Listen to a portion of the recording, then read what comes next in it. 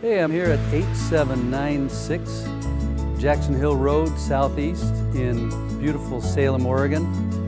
Just want to show you this property. It's an absolute gem of a property. Uh, the building site is 0.8 acres. It's a gently sloping site. There's a well installed. It's got a brand new pump in it. And you'll see behind me why this property is a real gem. That lake view is just stunning. What a beautiful sight that would be to wake up to every morning, watch the sunrise over that. And you can see off to the east, the Willamette Valley Vineyards.